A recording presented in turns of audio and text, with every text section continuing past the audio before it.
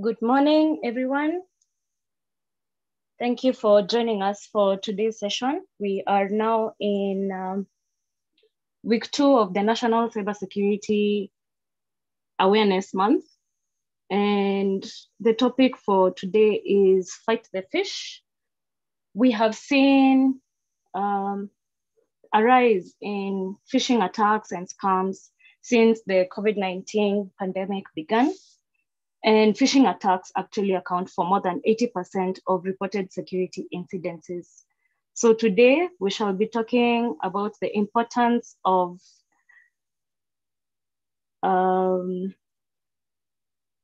being wary of emails, text messages, uh, messages that come from strangers or from someone that you are not expecting. So without further ado, I will uh, we have two speakers today, and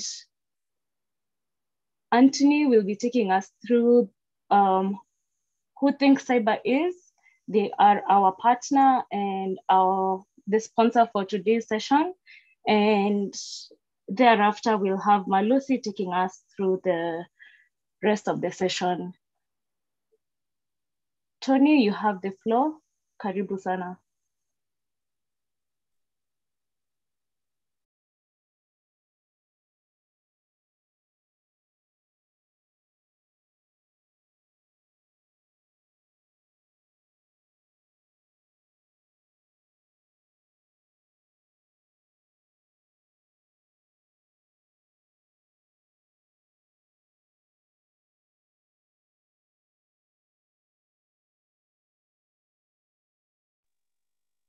Tony, are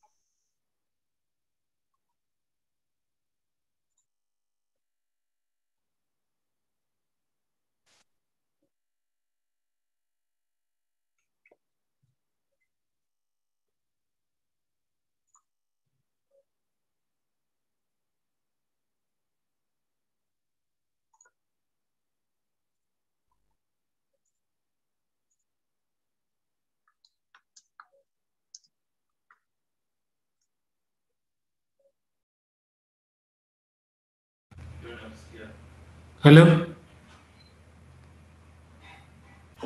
Hello, Tony, we can hear you. Ah, okay, brilliant. So let me just share my screen.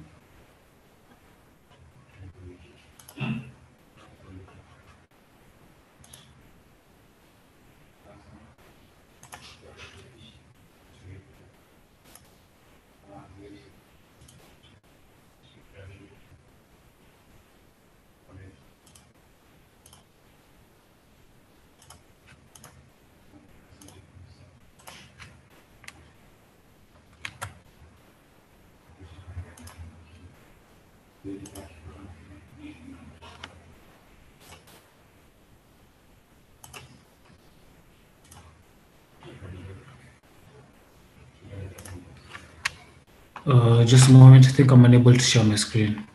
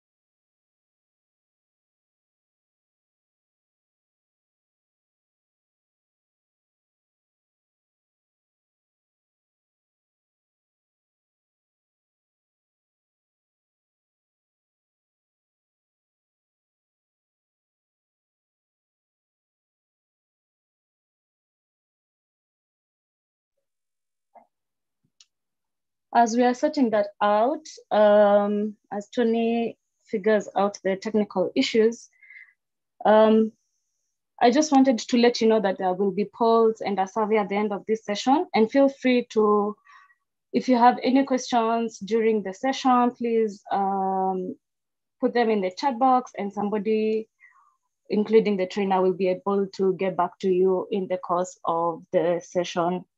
So if there are any questions, if there anyone is if there's anyone who needs to join, please let them know that this is where we are at. We are also on YouTube. You can get this session there. It's being recorded and will be on YouTube for uh, future reference.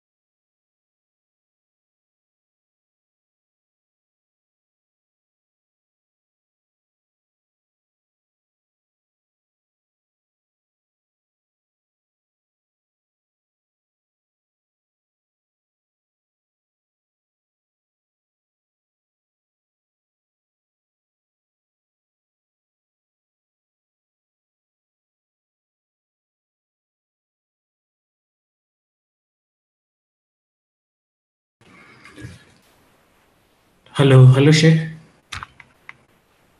Hi, Tony. Oh, yeah, uh, sorry about that. Uh, I'm having issues sharing my screen, so uh, I hope you guys can see Malusi's uh, screen.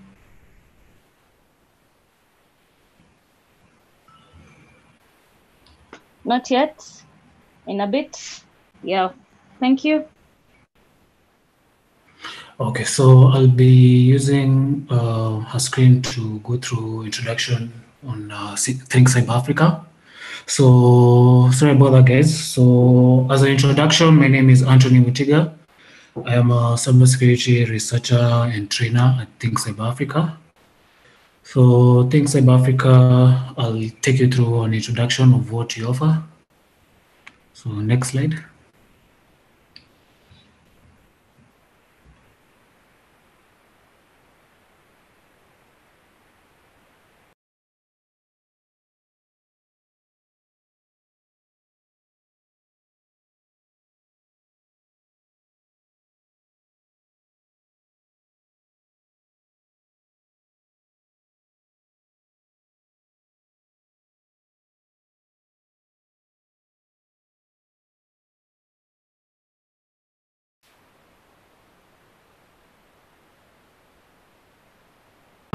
Is a subsidiary of uh, ThinkCyber, which is an Israeli company.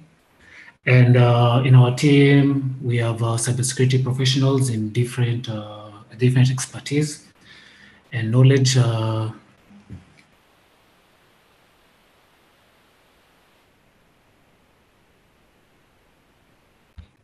we have different uh, different professionals with different expertise experience in different cybersecurity fields and uh, we offer we mostly offer training and uh, I'll show you the courses we offer in a moment.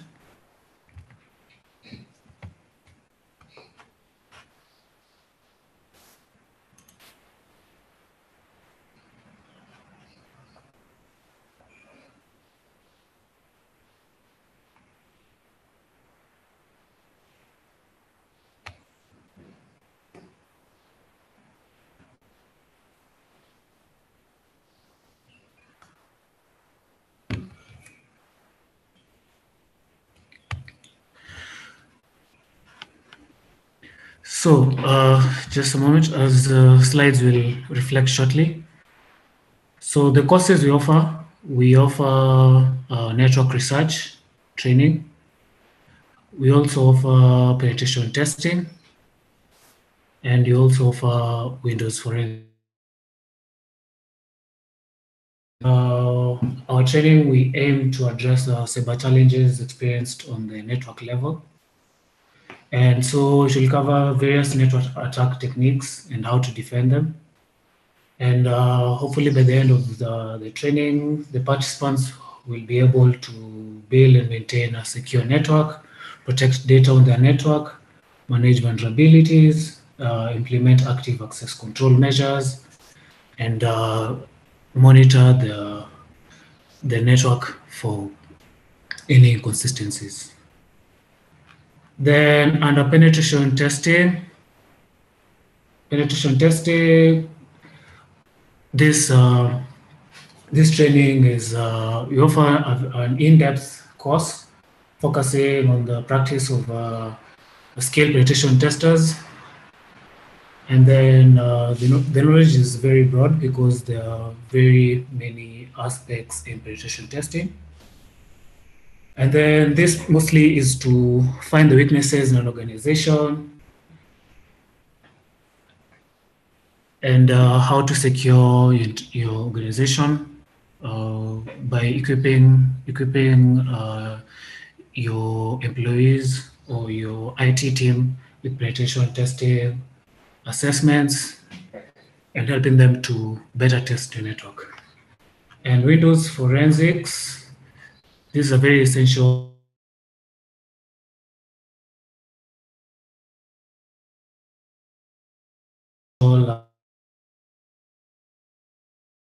Windows OS.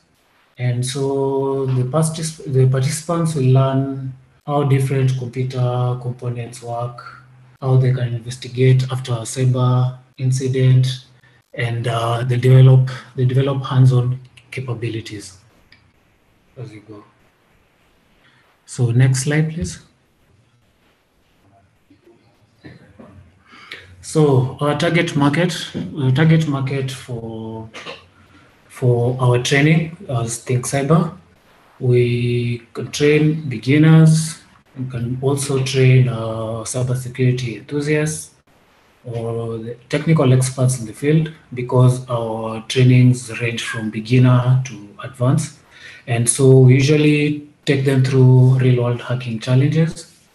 And uh, it's a very hands on training experience. And also if uh, for the for the training for the training for the training we also have uh, we let them gain uh, relevant learning experiences that will prepare them towards a career in cybersecurity. Next slide. So our partners, you, these are people we work closely with. We have eKRAAL Innovation Hub, and Think Cyber, the Israeli company. We are a subsidiary of them in Africa. Next. So, any questions so far before I introduce our, our speaker and my colleague?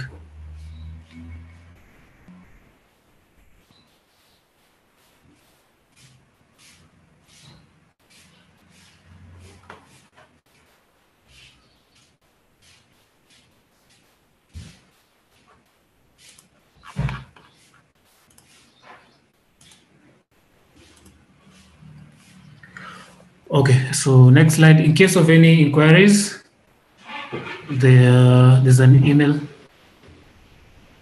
Okay, I've just seen a question by Trunsky.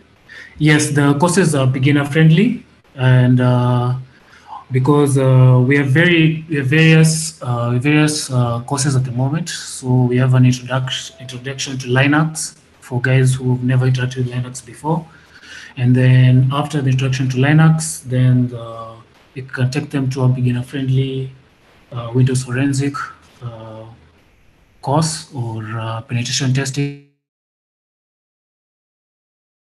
You can start with they can start with the introduction to Linux, and then they can now go to a beginner-friendly, either a Windows forensic, a network penetration test, a Windows interpretation testing, or a network research uh, course.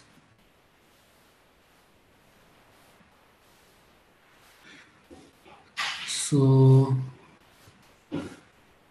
yeah, so for the inquiries, uh, that's the email, thinkcyberafrica at ekraal.com, and our website is thinkcyberafrica.com.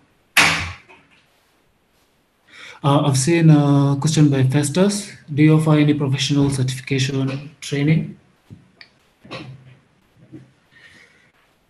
Yeah, yes. Uh, our, certifications, uh, certifications are uh, certifications are very valuable.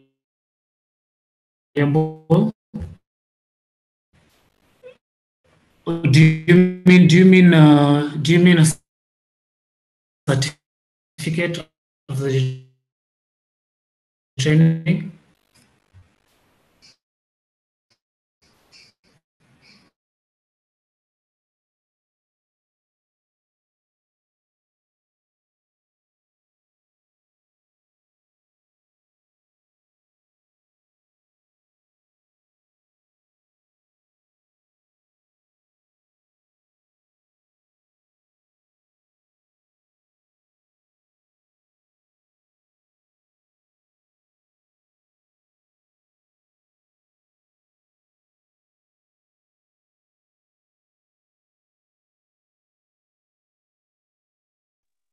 So if there are no further questions, um, I would like to, Tony, could you please introduce um, our trainer for today's session?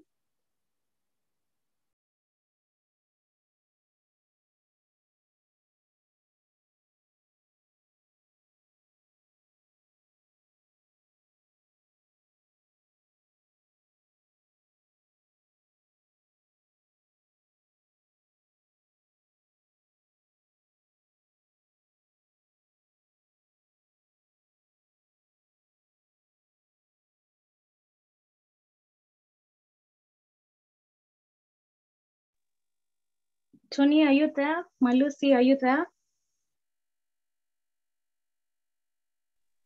Hi, hi, Shi, how are you? Hello, she. Hi, Malusi. Could you um, tell us who you are and kindly proceed to the rest of the training? Thank you. Yeah, I think Tony got lost there. Um, yeah. Yeah. Okay. So let me stop sharing so that I can introduce uh, myself. Give me just a minute.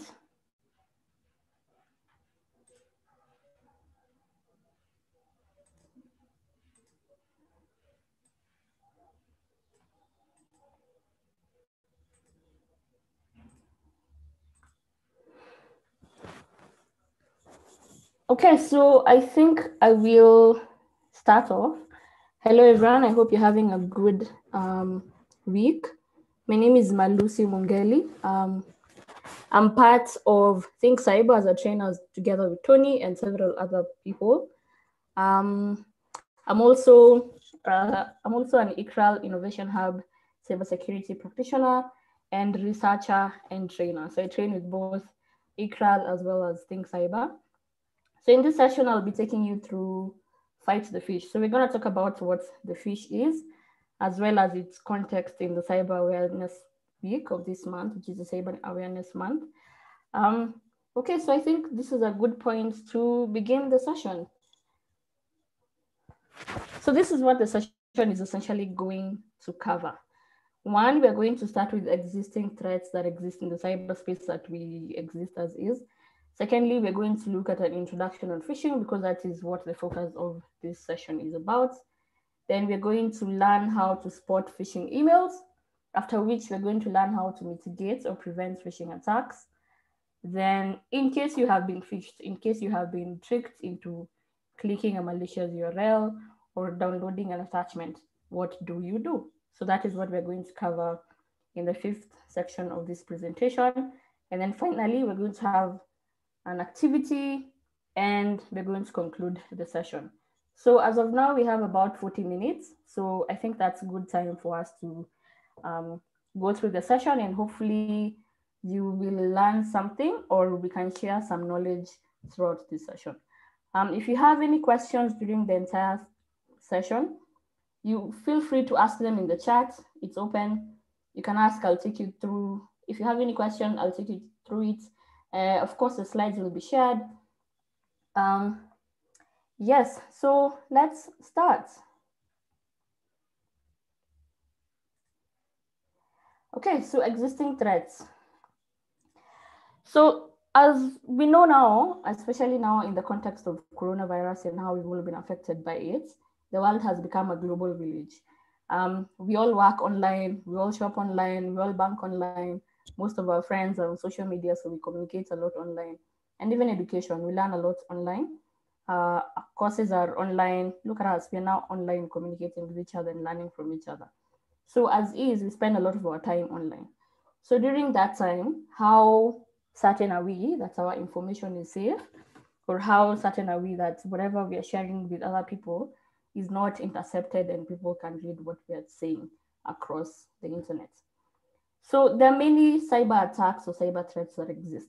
But in this session, we're just going to talk about the major attacks that affect networks and affect, affect our devices. So the first one is malware. And I'm sure most of us have heard about malware before. But just to reiterate, malware is, um, is a combination of two words, malicious software. So it's a collective name of a number of um, malicious software such as viruses, ransomware, adware, spyware. So malware typically consists of a code that has been developed by attackers, which is designed to cause extensive damage sometimes, sometimes also access to uh, systems where attackers are not authorized to access that information. Secondly, we have phishing, which is going to be the focus of our discussion today. So phishing is a social engineering attack where a cyber attacker tricks you into doing something or clicking a link or downloading an attachment via email. So there are many types of phishing depending on who is uh, the target audience. Then we have DDoS, which stands for Distributed Denial of Service, which is essentially um, an attack or an attempt to make a service such as a web service or a mail service unavailable by overwhelming it with a, a lot of traffic from multiple sources. Usually the sources are botnets. So that's what the DDoS is. So it's a very prevalent attack, and we're going to see that uh, in the next couple of slides. And finally, a very common attack that exists online is password attacks, which refers to any method that is used to maliciously authenticate into password protected accounts. So I am sure we have heard about data breaches. So data breaches is where uh, user data is exposed to the internet to attackers or to hackers.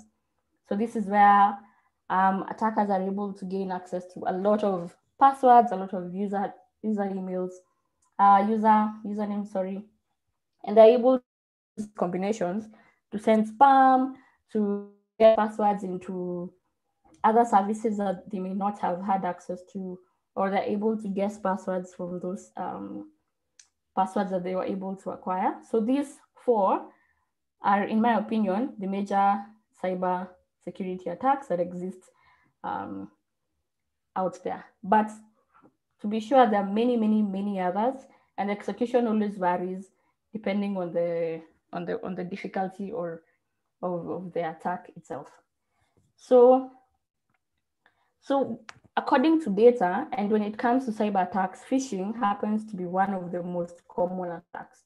So this is whatever you're seeing on your screen. There are two different um, data data results from data that shows uh, that phishing is a very prevalent attack that is used a lot by attackers. So on your left side, we have uh, an image showing cybersecurity attacks that affect various networks in the year of 2018. So this is from a report from Herbert Smith Freehills that shows out of all the attacks that happened in networks, 33% happened to be phishing emails. And from the Statista or from the FBI Internet Crime Complaint Center, we can see that the number of Americans who fell victim to phishing, crime, phishing emails, or phishing or smishing, which are different types of phishing, is 241,000, almost 242,000. So this is a very, very large number of people who fell victim to phishing. Even when you compare it to other types of cybercrime, you can see that it's very prevalent. And you can see how expensive it is to lose data through these types of um, attacks. Uh, okay, so even yesterday we saw, I think in the Kenyan cyberspace, we saw that in the cyberspace, um, in the circles, especially in the financial sector, we lose an equivalent of 6.23 million per month or 208,000 daily to cybercrime. And as we're going to see later, a lot of cybercrime begins with phishing email because it's very effective. So this should be a wake up call for all of us to understand how phishing works um, and how to mitigate phishing attacks on our networks and on our person. Okay, so this is why we focus a lot on phishing because it's a precursor to many types of attacks. So it, it's a precursor to ransomware, to network atta attacks, data breaches, and so on and so forth.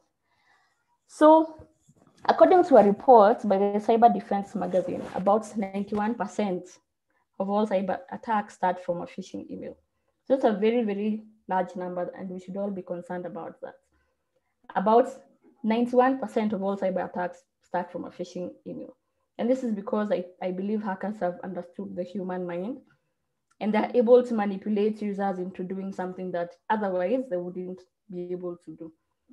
So out of uh, of uh, the phishing emails that are sent out, they're usually sent out in bulk. On average, 30% of phishing emails are opened by the intended recipients. And 12% of recipients will click on a malicious link or open a malicious attachment. So contextually, let's say we have an organization and this organization has about 100 people. So if I send if I send a phishing campaign to this company just to try to see who the rates of how people will click and so on and so forth, out of the 100 emails that I sent to all these individuals, 30% of the people will open them. And out of those 30%, 12, 12 individuals will click on that link or open a malicious attachment. So statistically, phishing is the most successful and dangerous of all the cyber attacks. And this is why you can see that 91% of cyber attackers will, will use phishing emails to gain initial access into networks that they shouldn't have access to because they know they're almost always successful. So now that we've seen how successful and effective phishing is, so let's talk a little bit more about phishing. What is phishing? As we mentioned before, Phishing is a type of social engineering. And when we talk about social engineering, it involves the human persona. So in this case, the person is the target. So phishing is a type of social engineering where an attacker will send a fraudulent message via an email. So that's via email is phishing, via text is smishing, and via a recorded phone message or phone call, that's vishing. And it is designed to trick a human victim into doing something. We're going to see what motivations attackers have for phishing. So Phishing emails are usually sent by criminals in bulk to thousands of randoms of people in the hopes that someone will click or download an attachment. And we've seen from statistics that this is almost guaranteed to, to work. So this constantly keeps happening. Even with all the user awareness training that we have, phishing will always remain a very successful tactic for cyber attackers. So what motivations do attackers have when they are phishing? So there are three primary motivations. The first one is attackers want to harvest or to steal your credentials. So credentials in this case could be, they want to steal your login credentials. That could be a username or a password or an email address. Um, and credential phishing aims at harvesting credentials for online services. So they can try to ask you to sign up for a service or um, something which can then be maliciously accessed as a direct source of information. So for example, we're going to see a very common um, scenario where an attacker will ask, will show you that there has been unusual um, activity on your email address. So therefore you have to sign in in order to be able to make changes or so on and so forth. So in the process of signing in, you're sharing your credentials, you're signing credentials, and the attackers are harvesting them in order to later use those credentials to access either your email address to gain more knowledge or to have a direct source of information, or sometimes they use these credentials as a method of pivoting from one service to another. So for example, an email that pretends to link to a webmail provider. So for example, you will find an email that tells you your Gmail has been compromised. We need you to sign back up or to change your password. So in the process of you changing your password, an attacker is harvesting those credentials and they're going to bank on the hopes that you reuse your credentials, which is something that was talked about in the previous, um, in last week's session. So an email that will pretend to link to a webmail provider will usually link to a cloned page. So it will clone the sign up page where once you enter your credentials, hackers are able to steal usernames and password.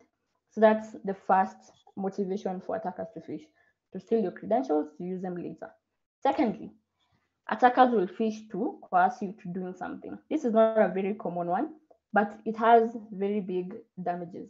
So this is called action phishing, and they rely on tricking a target into providing information that in of itself is valuable or to take an action which might be valuable. So for example, an email that has been fraudulently sent by a CEO of a company to another employee asking them to send large sums of money offshore would fall into this category. So that's a very common, um, that's a very common action phishing campaign that happens a lot more than you think. The, the last thing is attackers phish to gain access into your device through something we call a shell. So, so this is this usually happens in two ways. So an attacker will ask you to download either malicious attachments. It could be a PDF, it could be a document. They'll ask you to just download it and open it. So once you do that, it that document will download uh, malware into your system, which then gives access to attackers through your device. Secondly, uh, attackers can also ask you to click on a link. Once you click the link, the link will remotely download a file that is hosted elsewhere into your device, which will then give um, access to, to, to your attacker. So this, the fast stealing of credentials and gaining access are one of the most prevalent attacks that happen with regard to phishing contextually. So moving forward, I think we'll focus on credential harvesting and exploit phishing or shell phishing as uh, our focus points for all of this. So now we've seen the primary motivations for fishermen, I'm gonna call them fishermen, but attackers to, to, to send out phishing campaigns. So any phishing email that you receive almost all, always wants you to either give out your credentials, do something that, that is valuable, or make you download an attachment that's gonna give you give the attackers access into your device or into the network. Okay, so once you've clicked on a link or you have downloaded a file, and once you've clicked on a link and you're giving out your credentials, there are many things that can happen. Once you've given out your credentials, your identity might be stolen. Someone might masquerade as you somewhere. Credit card fraud might be committed under your name. Um, they can steal sensitive data. For example, if you give out credentials to your email address or your email, yeah, just your inbox, they can steal a lot of, a lot of sensitive information, clients' information, intellectual property. So there's a lot that can happen in the event of a successful phishing attack. So we're going to look at credential phishing. As we mentioned, you can lose your identity, you can lose your money, you can lose um, you there's, there can be loss of sensitive data, sensitive information. Uh, yeah, you can even lose your reputation, especially if it's a company and data has been stolen from the company. You, even unauthorized transaction might. Uh, hello, there's someone who wants to talk. Okay, let me continue. So, in with regards to exploit phishing, uh, once an attacker has access into your device, give me a minute. Let me see if there are any questions. Okay, no questions. Let me continue. in the event of uh, exploit phishing, successful exploit phishing, where an attacker has gained access into your device, they're easily able to exfiltrate. This data could be intellectual property, could be account information, could be they could install malware throughout your network. They could access um, sensitive systems such as servers.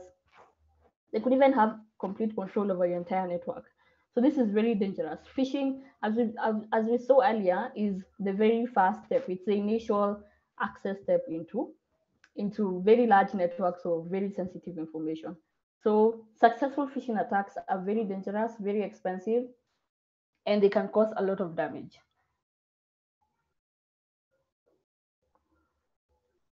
So now we've learned about phishing.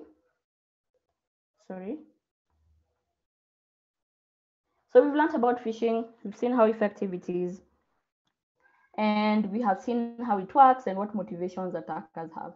So as a user or as a consumer of uh, the internet, how do you spot a phishing email? Some of this information might be very common, but we'll just reiterate most of it because I am sure us are aware of how to spot a phishing email. So we'll just cruise over this section quite quickly. So you have received an email. So you have seen an email and it's very surprising and you don't know where it has come from and you're not entirely sure whether or not this is a phishing email. The first question you want to ask yourself, is this an unexpected email? Is this an, an email I expected to receive, okay? Most phishing attacks are sent out at random. And even when, when a message appears to come from a company you have an account with, the fact that it's expected should always make, make you question it. So for the first question is, when you see an email, is this message expected? If it's for delivery you're not expecting, a product you didn't buy, a product or a service you didn't buy, a payment you're not owed or a payment confirmation message, for example, or an invoice you don't know anything about, then it's most likely a spam, a spam email. Okay. Secondly, do you even know the company or person it's meant to be from? This is a very important question to ask yourself. So even if you do know the company or the person it's meant to be from, is it an, an email you were expecting? Okay. So some scammers will take advantage of major news events to make their scams seem genuine. For example, during Corona, a lot of emails appeared to be from the World Health Organization. So that was very expected for a lot of people. Um, in Kenya, for example, during the file tax filing season, if you see a message from KRA, for example, that might be an expected email. So this is not entirely a way to tell whether the email is phishing email or not, but it's a way to trigger your mind to think about whether this message is expected or not. The second thing to think about is the email will create a sense of urgency or worry. So to, to persuade users to click on a web link or to open attachments, criminals will always or will often give the message a sense of urgency, will create worry, or simply try to exploit your natural curiosity. So a lot of ways that attackers will try to make uh, emails appear legitimate is if they come from, if they appear to come from a person you might know or you're close with or an authority figure. For example, if you received an email from NHIF telling you that your that your account is about to be suspended, or from KRA or from KPLC that your that your electricity has an issue, for example. So this creates a sense of urgency you're worried about whether or not your money is safe or you know the system that surround you are safe. So that makes you do something, okay?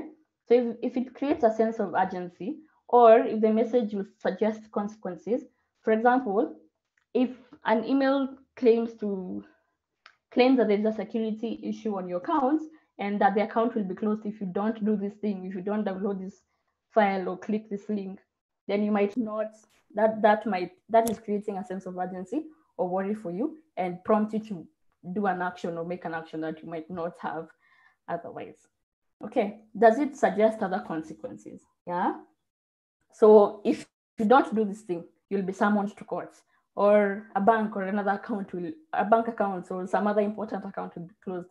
So the, the sense of consequences or the consequences come from that sort of uh, scenario will trigger you into making an action you otherwise wouldn't have. Um, yeah, so criminals will rely on all sorts of human traits or human personality issues to get all of us to fall victim to, to their scams or to their tricks. So whether that's panic or greed or curiosity, even fear of missing out, or even just a desire to help other people. So attackers will always rely on any of these emotional tags to make you do something. And if you feel like they're manipulating you, then that's the then it's right for you to be suspicious of, of the message itself. So these are examples of um, emails that trigger a sense of urgency or worry. So we have um, an unusual sign-in activity, which then prompts you to sign in again or to view recent activity. So this might trigger you or might make you click on this link, even though you might not be entirely sure what it's about. Then if you use Netflix, for example, we are sorry to say goodbye, implies that you may have made an action that you might not have, okay? So you might want to click restart membership, for example, and losing your account or the thought that someone has hacked into your account and, you know, killed your Netflix subscription might trigger you to make this action, even, even when you're not entirely sure that someone has done that. So some common ones will include an email confirmation of an order you didn't make, and it's giving you a web link to click to cancel it, for example, uh, a court summons, um, or even give you an invoice for, for, for a service or a product, and it triggers your curiosity and you click on it. So these are very common techniques that attackers will use. Second thing, this is one of the biggest and best giveaways for to spot a phishing email. These are web links that don't match the, the website itself. So for emails, this, this applies to all emails, all of them. So treat all links in all emails as suspicious link, where a suspicious link is anything that doesn't point to, to a known website. For example, using the image on the screen, you can see that the mouse hovered on the, over the help page. This email appears to have come from amazon.co.uk. This should be the correct domain name for amazon.co.uk. But once the user hovered over the help page, you can see that the domain is different. It's pro21uk.co.uk, not Amazon. So that's a trigger that um, something might be wrong. So links should never point to a random looking address, especially the ones with RU. Those are really, really common. The ones that have an extension RU, um, those are really common ones. They come from Russia. So watch out also when it comes to link, also watch out for slight differences that might be trying to fool you. Um, you can have amazon.co.uk or you can have um, Amazon where the O is a zero. So that's a, a very common technique as well. So regarding links as well, be very suspicious of links that are using a shortening service such as Bitly. We, know, we all know Bitly or tiny URL.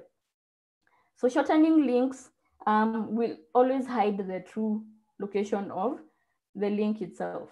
So you might want to, we're gonna see how to uh, mitigate this, but you might always want to take that shortened link, use a service that we're going to see a little later to enlarge it so that you can see the full destination of the link itself. So if the email, let's say the email you have received, for example, Amazon, and you have an account on Amazon, if the email is claiming to come from Amazon, and you're not entirely sure whether it's legit, you can type the correct um, Amazon link rather than clicking on the link itself. Type the correct Amazon link onto your browser rather than clicking on the link itself. So in a sense, what I'm trying to say is never click on any link you're not 100% sure about. Fourth, um, the email has an email attachment. We talked about uh, exploit phishing earlier. So the objective of many malicious emails is to spread malware, often by fooling you to, to download an attachment. Once you download the attachment and open it, it will download malware into your system and give access to, to attackers. When it comes to attachments, first of all, I hope you're sure that the sender is the correct sender or is a legitimate sender. Secondly, uh, look at the extension on the email. So um, there's a study by F-Secure that shows that there are 85% chances that malicious email addresses or attachments will have the .doc, .xls, .pdf, .zip, or .7z attachments. So when you see any of these attachments, you might want to think twice about them because they carry inside them malware that can be used to access your, your entire device. So because these are files that users will often open without hesitating, because it's a common file that we all share when communicating online. So additionally, when it comes to attachments as well, you might also want to be cognizant of attachments that look odd, like an SSCDE attachment, for example, or .exe attachment, for example. So those are not attachments that are common, but they are attachments that also um, cannot be filtered or are usually not filtered by, by your email providers. So when it comes to attachments, always make sure that this is an attachment you expected and it's from a source that you, you can validate. So in a sense, don't open any attachments that you're not expecting to receive. Um, if you know the sender, call them up and send a private or a separate email to verify whether they actually did send the, the initial email. So finally, uh, yes, finally, when it comes to basic assessments of emails, um, is the email poorly written? Uh, a lot of cybercrime originates from countries where English is in the primary language or the main language spoken. So, well, many phishing emails are legitimate looking, professional looking. Uh, this isn't always the case. So you might want to look out for poor grammar, um, spelling mistakes, the layout might look bad or poorly formatted.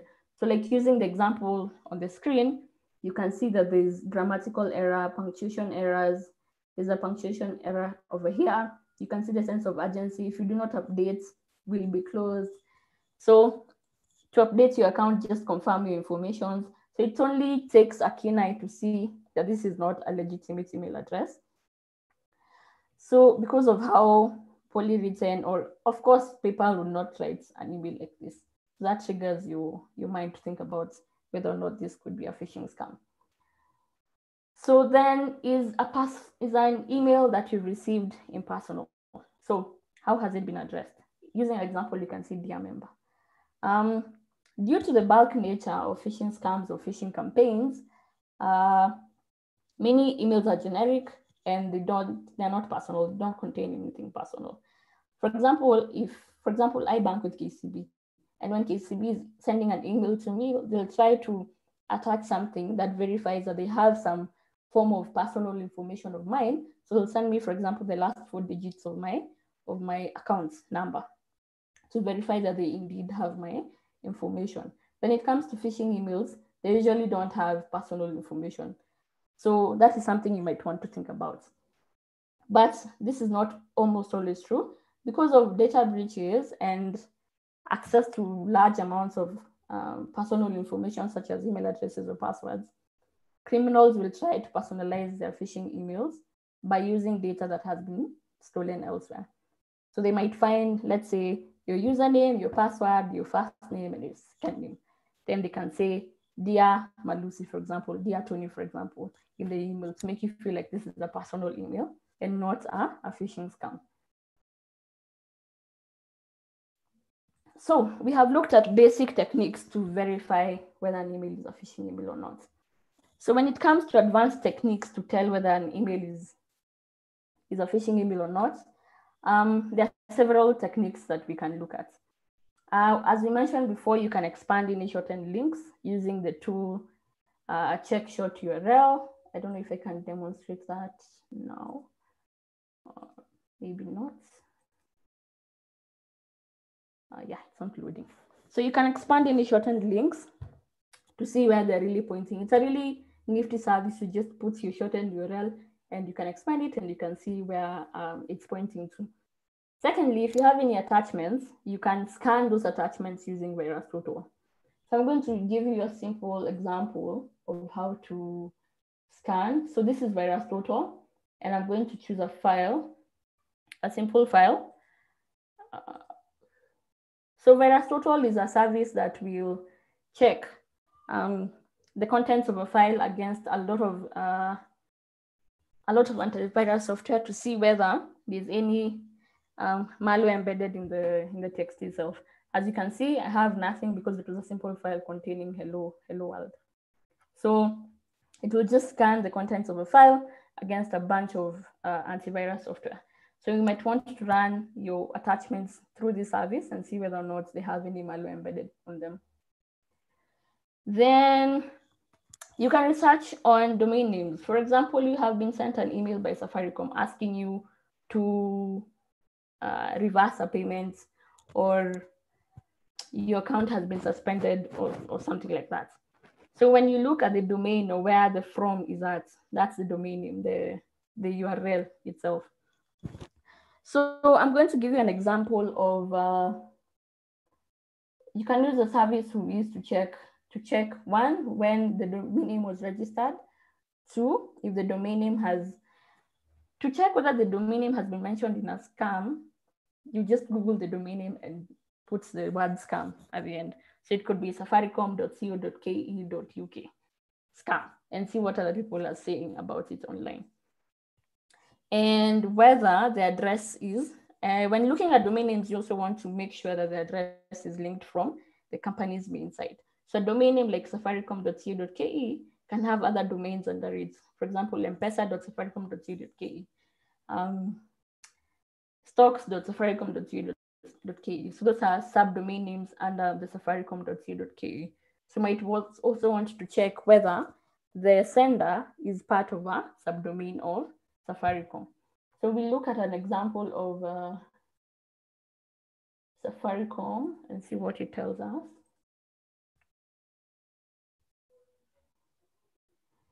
So you can see the name, the server, the URL. So you can see it was registered on uh, in 2003. Wow. Okay, so it was registered on 2003. When checking for the date when it was registered, so if you see that the email that has sent you and the email address that I sent you the phishing, the phishing email, check how early it was registered. If it was registered just prior to when you have received the email, then that, that might be a phishing scam. Uh, okay. Yeah, so we have said expand any short-term links, scan any attachments on VirusTotal, research on domain names, particularly when they were registered. Um, finally, check on email headers. So most email programs will just show you a few basic details about you to users about where the email address is from. So it could be from to subject date, okay? So this information can easily be uh, spoofed by criminals okay? But despite this, with a little effort, there's, there's a lot more useful information that you can check about the email address. So email headers are just textual information that is used by your email server to verify or to validate the email itself. So there's information about the validity of itself, the authentication of the mail server from where it's coming from, and there's more information under it about how uh, the routes of the email, whether there are hops in between and so on and so forth.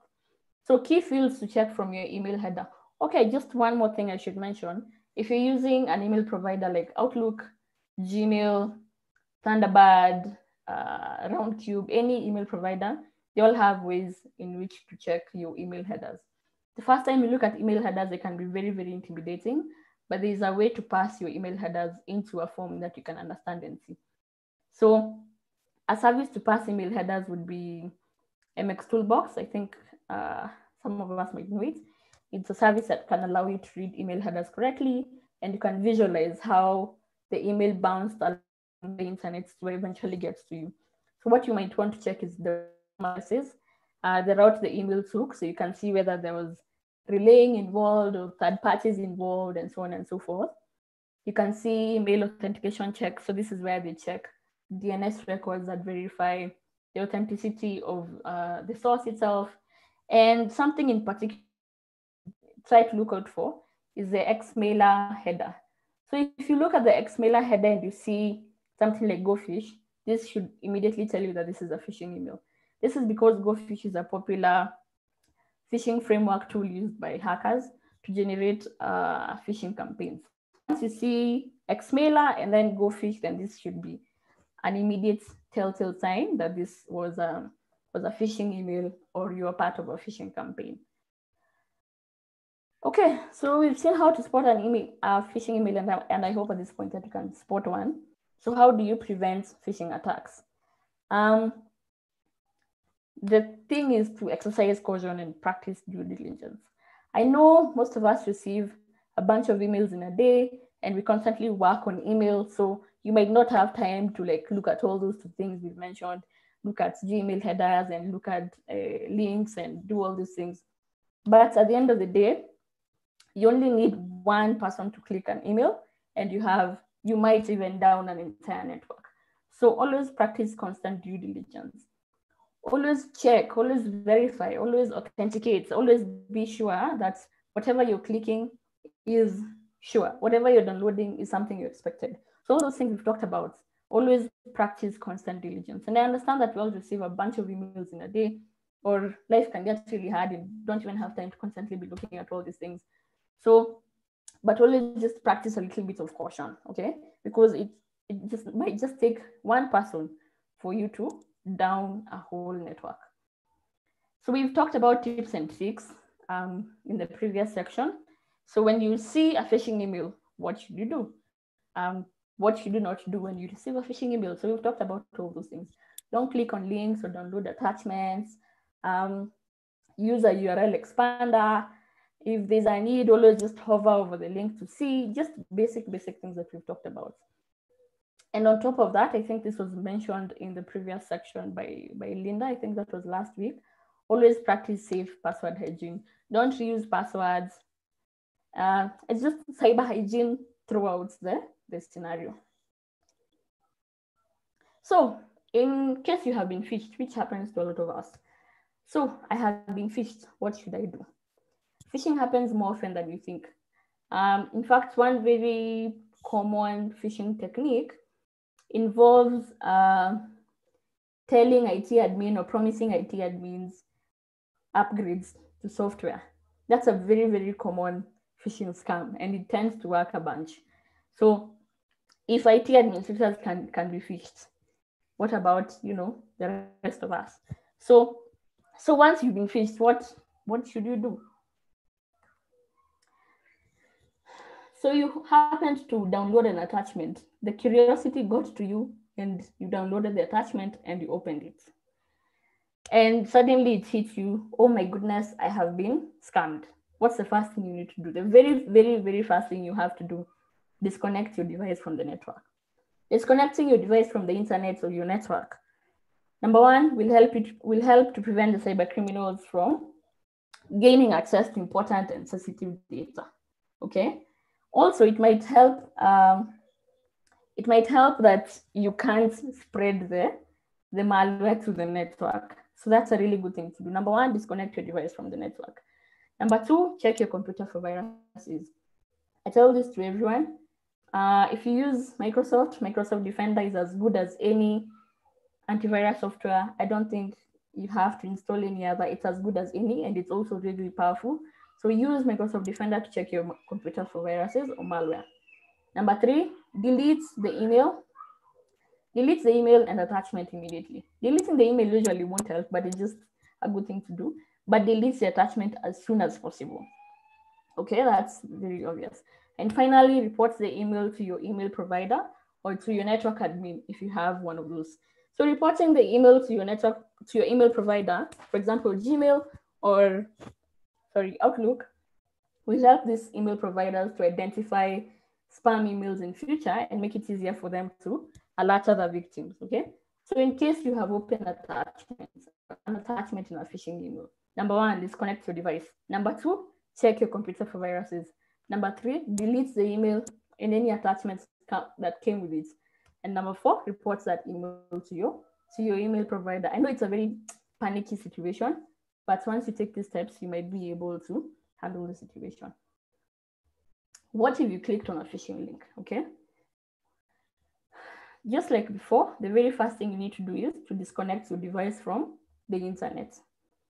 As, as I mentioned, it will reduce the risk of malware spreading to other devices on your network. And it will also prevent attackers from connecting to your device because they connect through the internet. Um, yeah, so first of all, disconnect your device from the internet. If you're using Wi-Fi, shut down Wi-Fi. If you're using LAN, remove the Ethernet cable from, from your PC or from your laptop. Number two, check if you've downloaded an attachment. So this is in the scenario of exploit phishing. So sometimes uh, an email will ask you to click on a link, which will then remotely download a file. So check your download folder if you've downloaded an attachment. If you have, of course, go ahead and delete it. Then number three, back up your files because sometimes recovering from a phishing attack can, can damage your file system, for example. And then number four, just as in the previous section, run a virus scan with using whichever antivirus software you use. But if you don't have any and you use Windows, Microsoft Defender is as good as any. So perform a thorough, thorough, thorough scan. So this is after you've disconnected your device from the internet. Also, I should mention, it's also a good idea to run the scan a few days after, after you clicked on the link. Because this, this if the virus is new, if the, if the malware was newly created, it might take a few days before antivirus malware, antivirus softwares have a signature for, for this particular virus. So what if you gave away any personal information? So if you gave away any credit card information or bank account information, the first thing you might want to do is inform your bank immediately. So inform your bank immediately in case you give out personal banking information. Number two, change your password. Get into the habit of changing your password frequently, using strong passwords. In general, just using a password manager. Password managers have saved my life a lot of times. Use a password manager. Number three, delete any unrecognized devices. So I'm sure once you have tried to log into Gmail from another device, uh, it usually tells you someone has just abruptly, someone has tried to log in. Please be careful. If it's not you, tell us so that we can get you out of there immediately. So there are services such as Facebook or Google that are able to know which devices have logged in, and they can keep an account of all the devices that have logged into your account. So if you see any unrecognized devices, delete them and reports them, okay? So that's a thing you might want to do if you clicked on a phishing link and the attackers were able to steal your, your credentials and they were able to log into your devices, for example, into your into your services or into your into your accounts. Yeah. So finally, um, your credentials have been stolen and your account has been hacked. What you might want to do, if your account is an email or social media account, you might want to inform your friends and your contacts that you might have been hacked in case hackers use it to send spam to other people. That's a good thing to do, just to be cautious about it. Inform your friends, your contacts, even your colleagues that you might have been hacked, and they should be aware of any scams that appear to come from you. So uh, that brings us to the end. So we, so far we have looked at um, existing threats, phishing, what exactly phishing is, motivation for phishers. We have looked at how to spot one, how to mitigate. Oh, I should probably mention that a lot of email providers and productivity suits like um, like Microsoft, Microsoft Office or G Suites, they all have technological techniques to sort of, um, they have spam filters, malware filters, they have a lot of email protection techniques available, but it is also important for all of us because hackers know that they do have these protections in place and they try to evade them. So the very last stop is us. So how do we fight the phish? Yeah. So that brings us to the end of our session. So we have looked at all the techniques. We have looked at how to be safe on the internet, especially via email. So I'm going to leave you with a very, with a phishing quiz that I really like.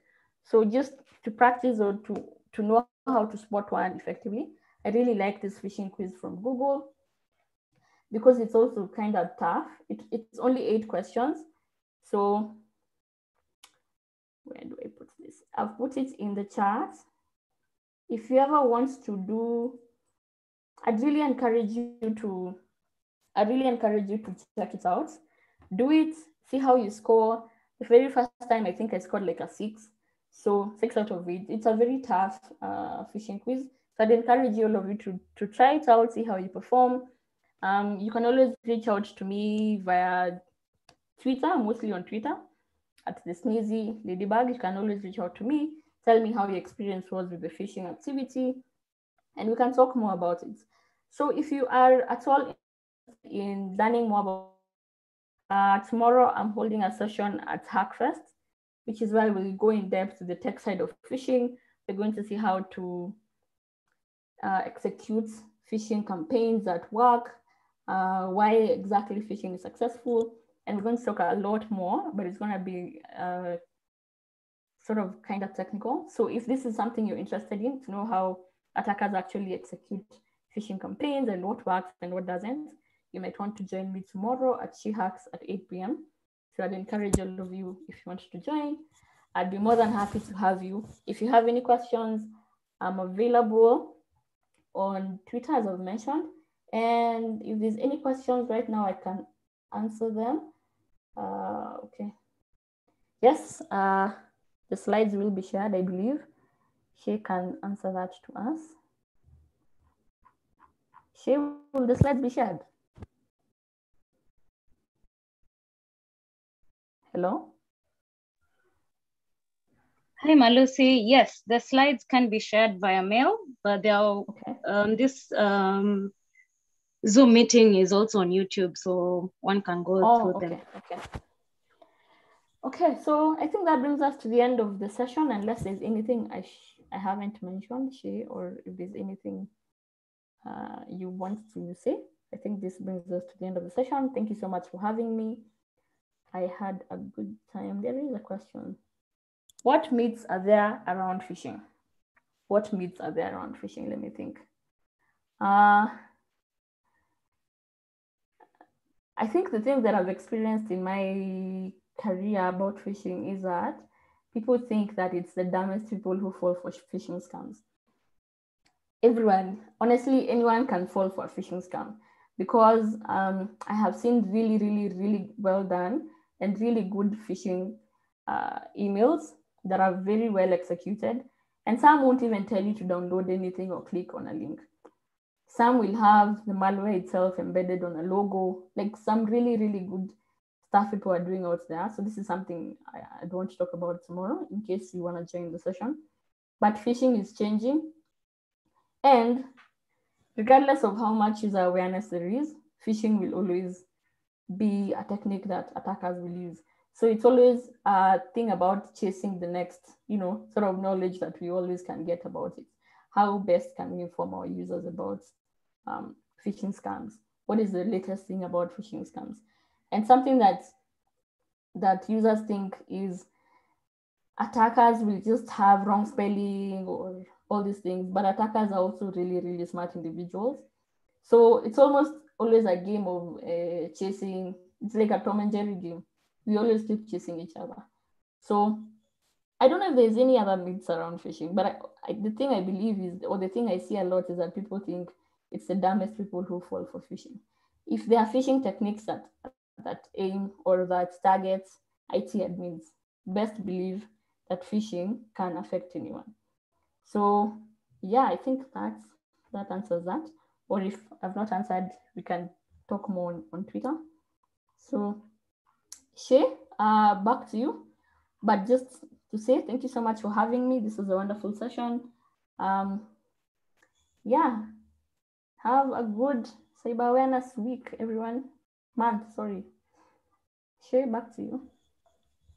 Thank you so much, Malusi. I don't know if there are any questions. If there are none, um, I have a few announcements. Um, next week, we're going to be covering the um, be cybersecurity first, and this just means that uh, we are trying to make security a priority, whether we are um, onboarding staff or even purchasing those um, gadgets that we are using, whether it's the phones or the routers in our houses, and so on and so forth. And then on the last week of this month, we are going to have the Cyber Security Career Awareness Week. that is going to be something to definitely look out for. We have sessions around mental health and just um, careers in cybersecurity. Other than that, um, I find it noteworthy to note that some of our partners are also having events uh, during this cybersecurity awareness month. That is, we have SheHacks every Thursday from 7 p.m. You can catch them there. Um, we also have events that are coming up um, from Cyber in Africa. Um, we are looking to do a collaboration there and also Africa Hackon, which is scheduled for the 5th of, of next month, sorry. So be on the lookout for those events um, if that is something that interests you and you're definitely going to make the most out of this awesome month. Before we leave, um, I have a quote. Culture eats strategy for breakfast. So what culture do you have in your family or in your organization? I repeat that. Culture eats strategy for breakfast. So what culture do you have in your family or in your organization? Thank you so much for everyone who's been here. Um, hope to see you next week. Have a good weekend ahead. Bye.